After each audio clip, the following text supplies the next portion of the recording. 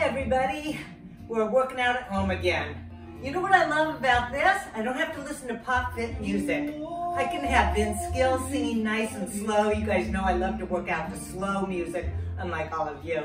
So put your favorite music on, give this little tiny workout a try. We're gonna work in different planes of motion today. You're gonna do four moves for 30 seconds each with a 10 second rest in between. Here's your first move.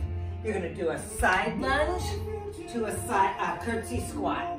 Side, curtsy, side, curtsy, side, curtsy. 30 seconds on that side, 30 seconds on the other side.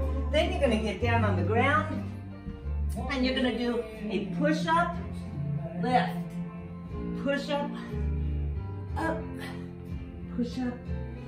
Keep that going, love that move. Then you're gonna do a single leg squat on each side like this. Come down and up. Make sure you're not bending at the hips. Use your legs.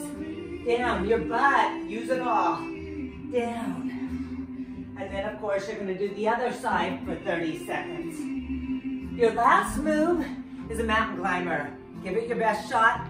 Geckos, crossbody, straight up, whatever you wanna do. You're gonna come get those hands right under those shoulders. Let's go. Or geckos, or straight ups. Do whatever you want with those mountain climbers. Run through that three times. I'm out of breath. Maybe you will be too. Go for it, you guys. Keep doing some workouts. Try and make your life normal. Put on your favorite music and do it. Thanks, you guys. We'll do another one later. Bye.